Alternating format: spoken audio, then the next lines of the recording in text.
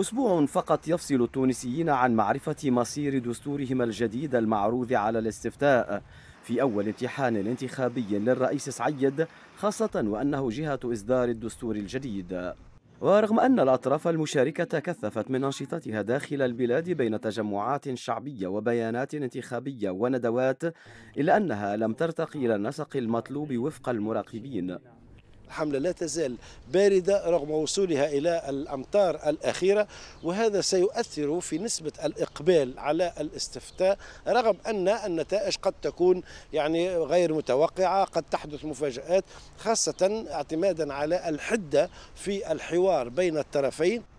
ضعف حملات الاستفتاء قابله حسن استعداد من قبل هيئة الانتخابات التي أعلنت أن كل الظروف صارت ملائمة لإجراء هذا الاستحقاق الانتخابي.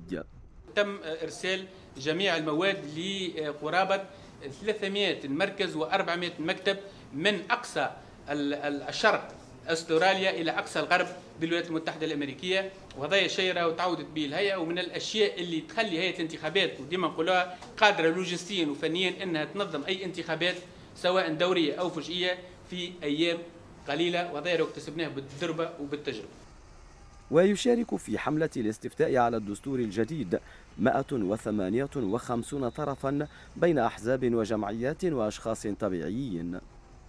بينما تضع هيئة الانتخابات آخر اللمسات لتأمين إجراء الاستفتاء ظلت الحملات محدودة رغم الارتفاع النسبي في نسقها وسط حالة استقطاب قوية بين الداعمين لمشروع الدستور الجديد والرافضين له. وليد عبد الله العربية تونس.